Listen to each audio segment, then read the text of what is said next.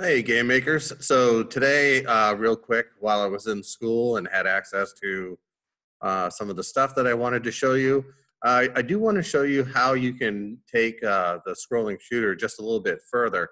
As you can see here, I've, um, I'm in a different game engine, and uh, the game engine is Godot.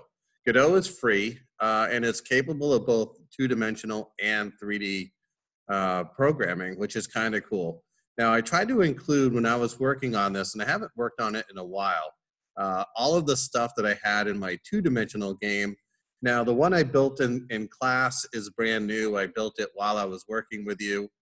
And uh, so there's going to be some things in this game that, that didn't make it into my classroom version. Uh, but you'll see that the boss is there, uh, including a camouflage texture. There are some islands, although there's only one island uh, in the game. I did include the submarine, and uh, that didn't make it into my 2D game. Uh, but let me just show you um, how this works. So very similar. Let me see if I can get this centered on my screen. Um, you can see that uh, you have some extra dimensions here. So my boss is about to come into the screen and I can't quite get him, but I can get the submarine. Uh, I did include some clouds that made it a little more difficult to see, but you can see I can move up and down and uh,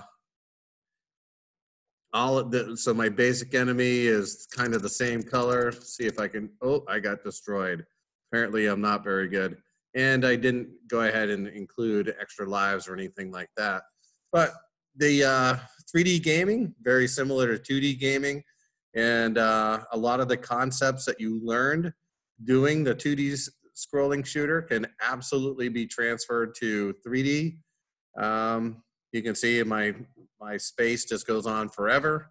So just wanted to show you that, that, that the things that you learned can be applied and, and, there's a, there's a lot of connections between what we learned in the 2D game and what it takes to make a 3D game. So just a little show and tell. Thanks for watching.